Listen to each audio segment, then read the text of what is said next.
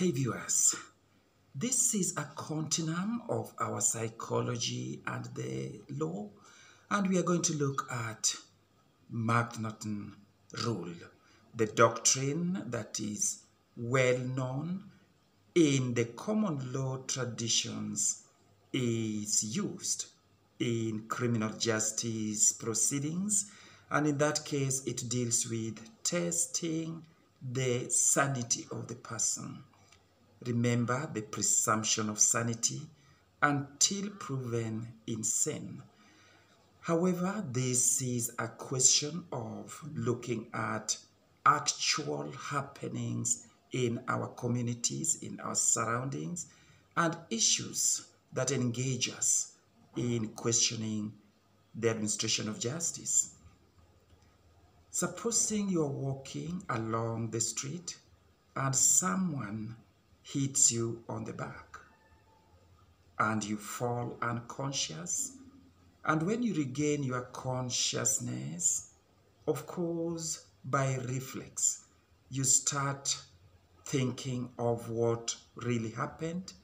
Indeed, you are still under trauma, you are still frightened, and you want to know who is who in your surrounding, only to realize that the person who had hit you is a mad person, and that is known to many people in the neighborhood.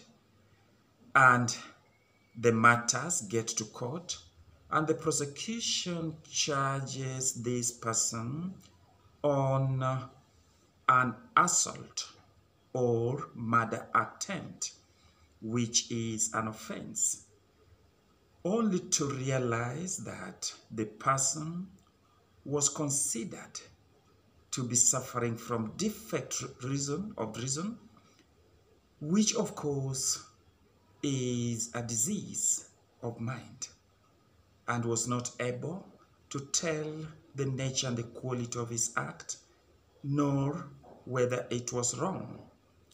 Indeed, this is the nature of McNaughton rule. Daniel McNaughton was an Englishman known to be a hard-working fellow in his neighborhood.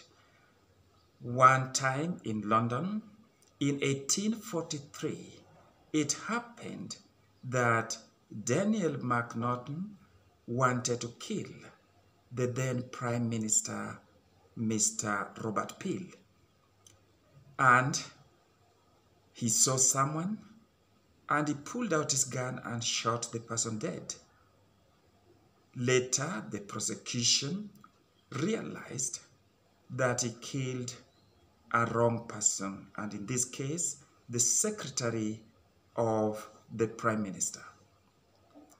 The matters taken to the House of Lords was ruled using what today is known as McNaughton rule.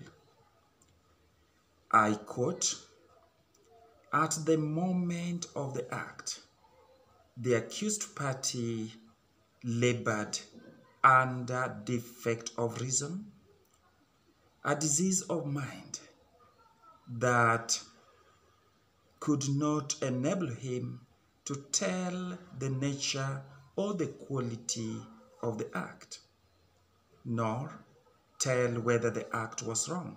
Close the quote. It is this simple formatting of the ruling that has formed the precedence and is applied in testing the sanity or insanity of the accused in criminal cases. However, still many things can be questioned from this doctrine of McNaughton, such as the time of committing the crime. That means the person suffered some mental disease, and in this case can be known as psychosis, which can be temporary and can be suffered abruptly, then later it can disappear Another thing that is very, very critical in this reading of the doctrine is the question of the defect of reason. How far can we tell whether somebody suffers the defect of reason and whether this is a disease of the mind or rather mental disease or mental pathology. Another thing that is very critical in this analysis is about the capacity to tell the nature or the quality of the act or to tell the moral value of the act, whether it is right or wrong. The intent, insofar as it is the volition that is established. Daniel McNaughton wanted actually to kill the prime minister. That is established. But by killing a different or a wrong person was a mistake of fact that was caused by defect of reason and therefore the person acted or labored under mental pathology at that particular material time when the crime was committed. However, still, there are so many questions. In 1984, there was a reform on Insanity Act. And in America, the question of using volition, volition alone or the intent alone to test the mens rea is not sufficient. It is very critical and crucial to test the sanity under the presumption of sane till proven insane.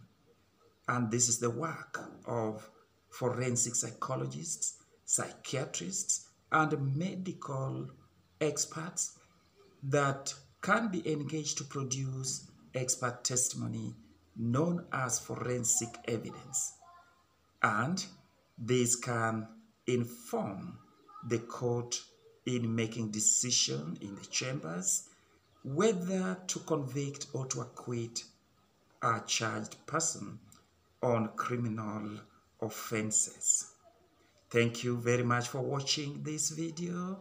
Peter here, University of Nairobi School of Law, Kisumu campus, and I expect to see you again very soon. Thanks for today. Bye-bye.